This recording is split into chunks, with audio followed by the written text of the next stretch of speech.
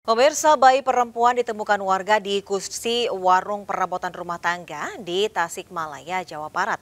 Sementara di Samarinda, Kalimantan Timur, warga juga menemukan bayi hidup di semak-semak dalam kondisi terbungkus baju.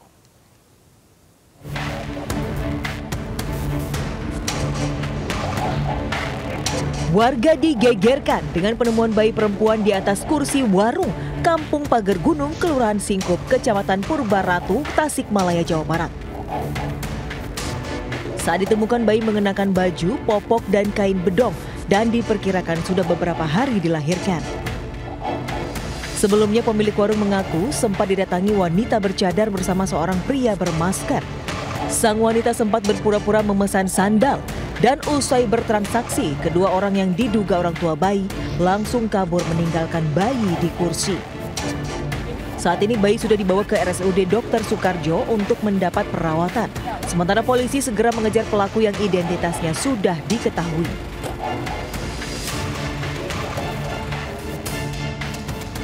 Sementara di Samarinda, Kalimantan Timur, warga digegerkan dengan penemuan bayi perempuan terbungkus baju di semak-semak.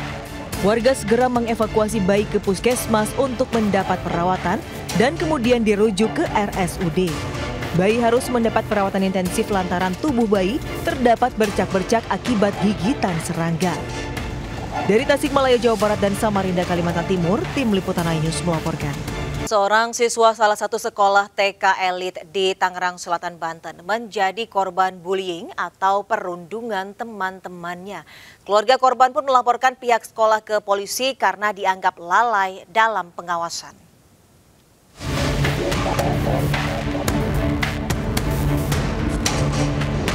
Rena Mulyana, kakek dari korban perundungan di Taman Kanak-Kanak salah satu sekolah elit kawasan Serpong, Tangerang Selatan, Banten, mendatangi kantor polisi untuk melaporkan peristiwa yang dialami cucunya.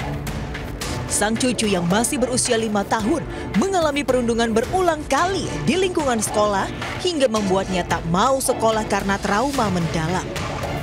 Bahkan korban kerap mengalami luka memar di sejumlah bagian tubuh Keluarga menyayangkan pihak sekolah yang terkesan tak peduli akan aksi bullying yang terjadi dan menganggapnya lalai dalam pengawasan.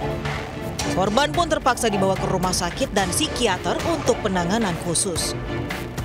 Sampai saya ada, saya menyaksikan bahwa dia teriak gitu loh. Saya di mobil lari juga kenapa suara cucu saya itu familiar kan saya. Saya lari, wah dia teriak. Rupanya dipukul tangannya di sini dengan botol minuman. Wah, teriak-teriak sekali ada fotonya dia nangis semua. Keluarga berharap pihak kepolisian tegas dalam memproses kasus bullying yang terjadi di lingkungan sekolah agar peristiwa serupa tidak kembali terulang. Dari Tangerang Selatan, Banten, Nunung Purnomo, Ainus melaporkan. Sementara itu artis Vincent Rompis diperiksa polisi atas kasus bullying atau perundungan yang melibatkan anaknya di SMA Binus School Tangerang Selatan, Banten. Korban harus dirawat di rumah sakit akibat terluka pukulan dan sundutan rokok.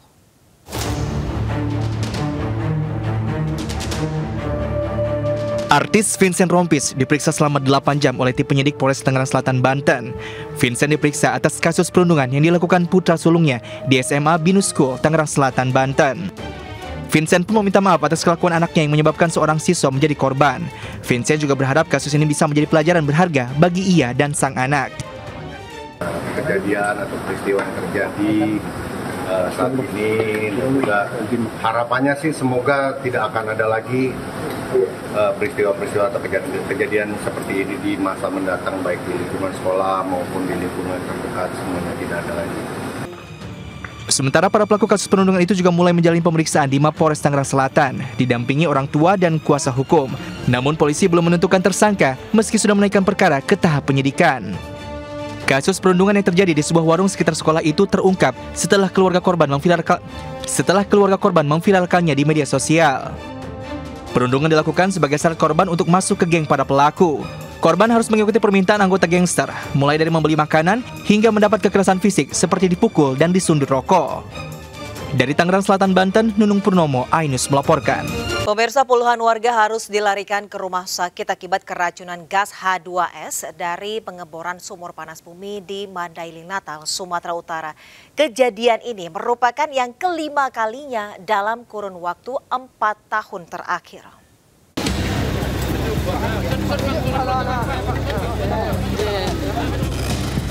Kepanikan terjadi di ruang UGD RSUD Panyabungan Mandailing Natal, Sumatera Utara karena kedatangan puluhan warga dari desa Sibanggor Julu yang mengalami keracunan gas asam sulfur atau H2S. Sebagian warga harus ditangani di selasar rumah sakit. Para korban mengeluhkan pusing, mual, hingga muntah-muntah akibat menghirup gas dari sumur pengeboran panas bumi PT SMGP. Sementara polisi masih menyelidiki penyebab pasti keracunan yang sudah terjadi lima kali dalam kurun waktu empat tahun terakhir ini. Kita penanganan dulu terhadap titik lokasi keracunan, karena yang paling berdampak adalah masyarakat.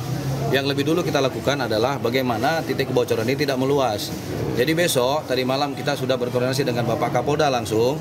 Bapak Kapolda memerintahkan nanti akan dibantu oleh satu peloton dari Brimob dan juga dari Dalmas kita untuk memastikan sterilisasi di lokasi. Hingga Jumat pagi puluhan warga masih dirawat di dua rumah sakit. Saking banyaknya korban, ruangan rumah sakit tak mampu menampung seluruh korban hingga sebagian harus dirawat di dalam tenda darurat. Warga menyayangkan karena meski berulang kali terjadi dan hasil penyidikan polisi sebelumnya, pihak perusahaan dianggap lalai namun belum ada sanksi hukum yang tegas bagi pihak perusahaan. Dari Mandailing Natal, Sumatera Utara, Ahmad Hussein, iNews melaporkan.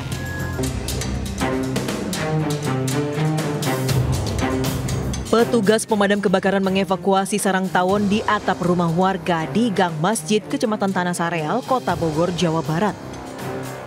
Evakuasi dilakukan setelah sarang tawon terlebih dahulu disemprot dengan racun serangga. Sarang tawon kemudian dimasukkan ke dalam karung untuk dimusnahkan dengan cara dibakar.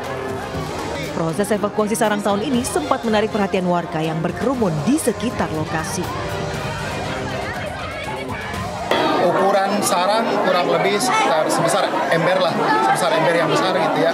Itu mungkin sudah bertahun-tahun uh, bersarang di situ. Dan jumlah koloninya sangat banyak. Ratusan mungkin bahkan ribuan. Telurnya juga sangat banyak. Jadi kalau misalkan tadi tidak ditangani segera itu akan sangat cepat bertambah jumlahnya. Sebelumnya kawanan tahun ini menyengat marbot masjid saat sedang membantu merapikan atap rumah tetangga. Meski sempat mendapatkan perawatan medis di klinik terdekat, korban meninggal dunia dengan sengatan tawon di sekujur tubuhnya. Dari Bogor, Jawa Barat, Andi Firmansyah, iNews melaporkan. Seorang santri AF, 19 tahun digelandang polisi karena tega melakukan penganiayaan kepada juniornya ST di sebuah pondok pesantren di Kecamatan Lawang, Kabupaten Malang. Pelaku yang emosi menganiaya korban menggunakan setrikaan panas hingga menderita luka bakar. Hasil pemeriksaan diketahui kejadian berawal saat korban meminta baju kepada pelaku yang menjadi petugas cuci baju santri.